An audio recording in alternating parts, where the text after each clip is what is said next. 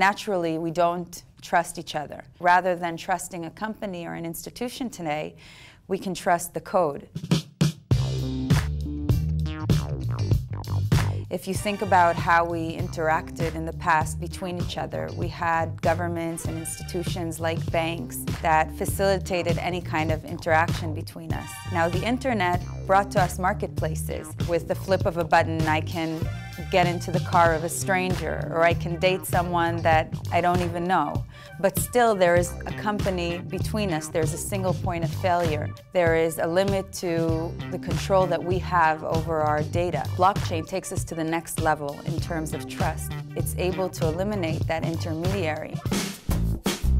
The biggest problem with ICOs is actually a paradox that was created by regulators. Regulators created laws around securities that are meant to protect investors.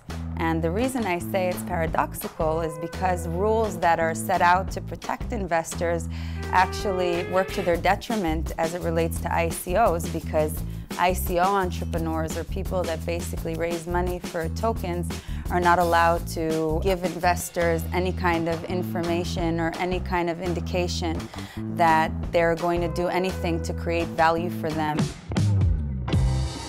So I think we're, we're at a point uh, in blockchain where we're still in very early stages, but there is uh, already significant awareness and it feels like the world is waiting for blockchain to happen. People today are scared of blockchain because they don't understand it yet and they don't understand yet necessarily the importance. It's very natural because at this day and age we're hearing a lot about blockchain but it hasn't really influenced our life in any positive way. Once we start seeing real life applications, products that actually improve our lives, then people are, are going to be much more positive about the technology and much more willing to embrace it.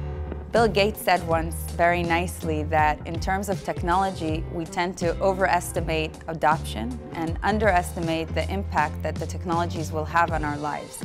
I mean, if you think about the amount of time it took until we actually saw applications on the smartphones and started using them and adopting them versus the impact it had on our lives, it's going to take time until the technology is good enough, mature enough, and established enough for people to use it. But once it does kick in, it's going to be as revolutionary as the internet.